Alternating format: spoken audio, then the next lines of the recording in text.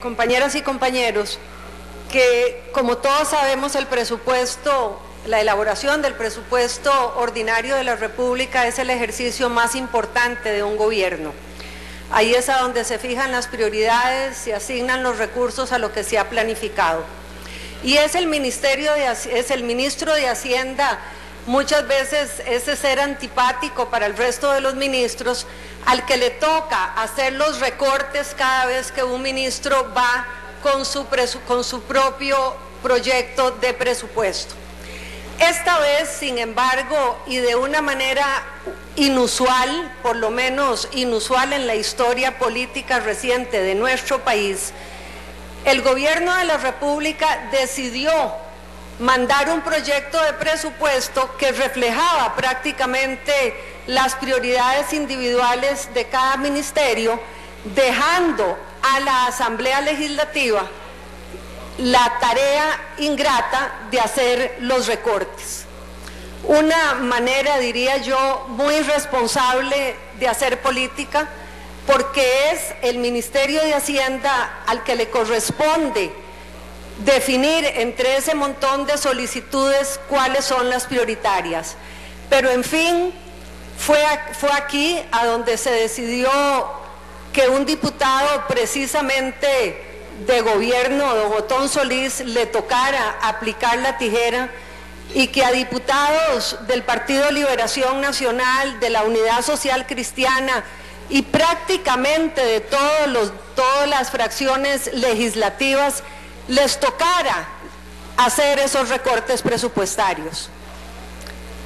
Me parece que esa decisión muy deliberada, creí, debo confesar al principio que era una novatada, pero ahora creo que es una decisión muy deliberada, hizo que las manifestaciones y los disgustos se trasladaran del Ministerio de Hacienda a la Asamblea Legislativa y mejor ejemplo que el que tenemos hoy no podría haber.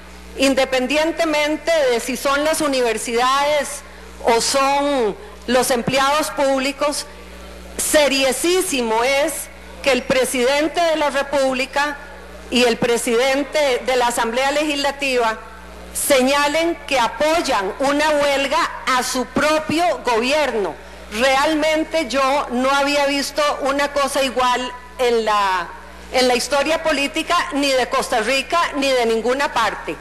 El presidente de la República, el partido oficialista, porque sé que los diputados también asistieron, y el presidente de la Asamblea Legislativa, también miembro del partido oficialista, impulsan, encabezan, participan de una manifestación que entonces en contra de quién es ¿En contra de quién es la manifestación? Realmente una jugada magistral del Ministerio de Hacienda, debo reconocerlo.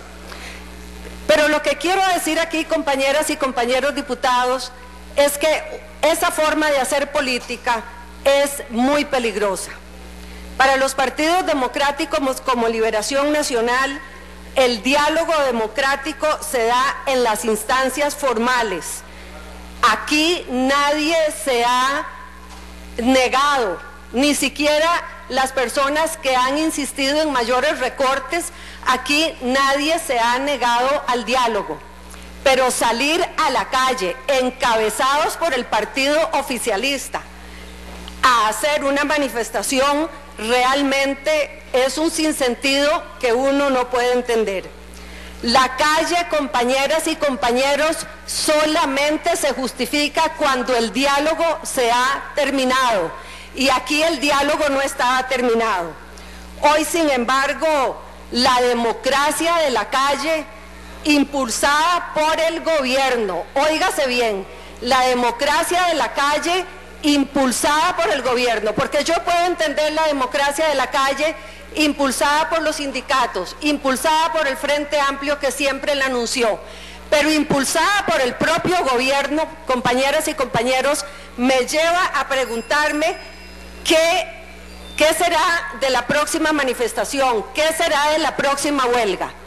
Ahora entiendo, ahora entiendo por qué el tema del levantamiento del veto al procesal laboral, aquí los primeros que van a estar en huelga son los oficialistas y yo me pregunto ante quién van a estar en huelga. Se trata, y quiero decirlo muy claro aquí, compañeras y compañeros, de una forma política muy, muy peligrosa, que todos sabemos dónde comienza, pero no sabemos dónde termina. Gracias, compañeras y compañeros.